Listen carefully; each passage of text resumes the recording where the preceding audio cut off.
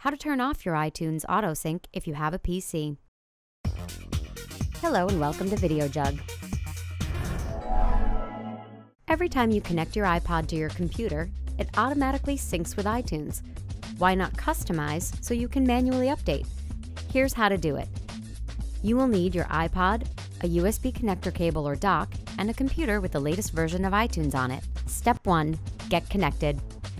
Connect one end of your USB connector cable or dock into the bottom of your iPod and the other end into the USB port on your computer. Wait for iTunes to launch. Step 2. Manual Management. When you see the Preferences window appear in your iTunes, choose Manually Manage Music and Videos. If you don't have a video iPod, you can choose Manually Manage Music. To the left of your iPod in the iTunes source list, you'll see a gray triangle. Click on the triangle to view all of the playlists in your iPod. Step 3. Manual Update. To manually update your iPod, drag a song from your iTunes library and drop it into any of your iPod playlists on the left side of the screen. You don't get any more manual than that. Done.